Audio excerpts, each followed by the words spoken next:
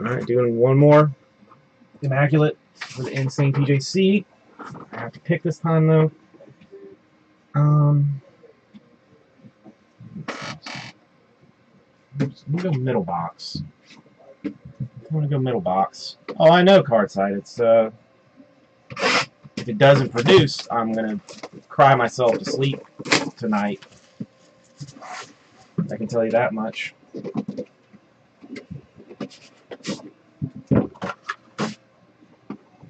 Where is Bergie when you need him? He would know exactly where the where the hotness was.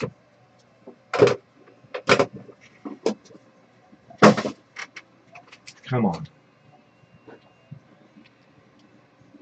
Cardboard Jesus needs not to embarrass himself on uh, this Thanksgiving holiday.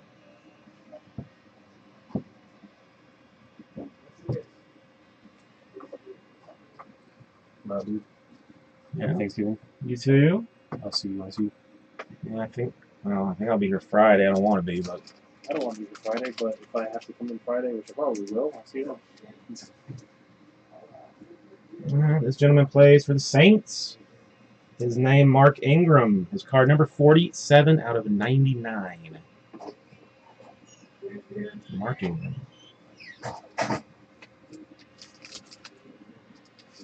Dual patch. This is a nice card. Two color, two color, 9 out of 15 for the Oakland Raiders. Tim Brown and Amari Cooper. That's a good card. It's a nice combo to have. But look at the shoulder pads on Tim Brown. That just looks weird.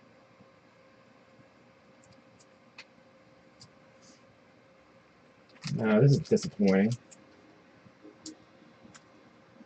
16 out of 25. Oh, that's probably why. Rashad Perriman. It looks like a napkin, but really it's a hat. It's rookie player caps, so there's not that much stuff to have, especially on a, uh, a jumbo patch such as that.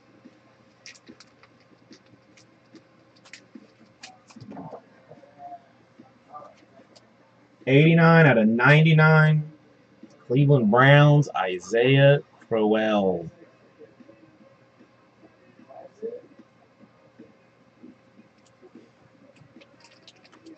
Five out of 99. Jacksonville Jaguars, Ben Koyack.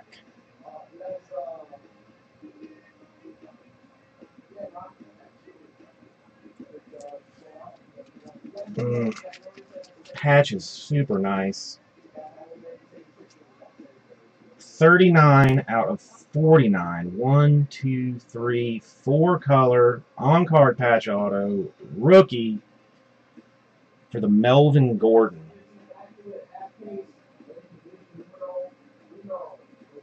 And that is a nice patch.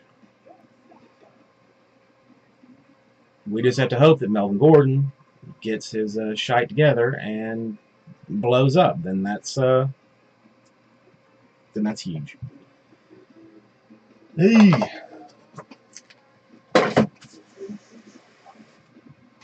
I don't know. It just, I mean, if it had been Todd Gurley, maybe, you know, if it had been Gurley,